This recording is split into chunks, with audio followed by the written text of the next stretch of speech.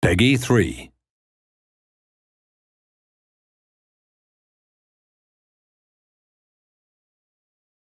Turning our attention now to a brand new system which is called off the ball control.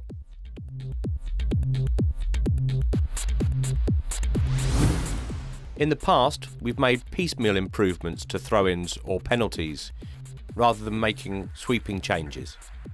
In this situation, you'll see the throw ins that are affected, but it also affects every dead ball situation that you're in. It encourages you to pick a man and try and make space.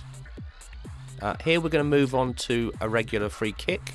Now, the player's going to switch control away from the kicker using the right stick and cycle to a player he feels is in a good position. He's going to make space